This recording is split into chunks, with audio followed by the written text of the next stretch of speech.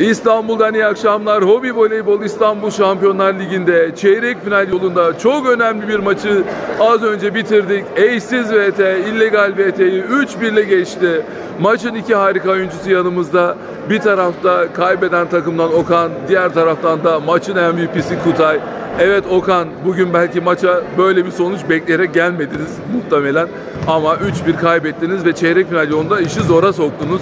Neler söylemek istersin? Ya ben öncelikle sizi tebrik ediyorum.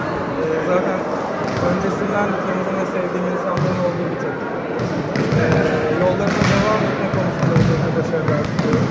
Bugün Aylin'la yeniden tanışmış olmam Evet. e, mutluluğum var. Ben sadece tebrik ediyorum. Bizim bir takım eksiklerimiz var. Etkilenemiyoruz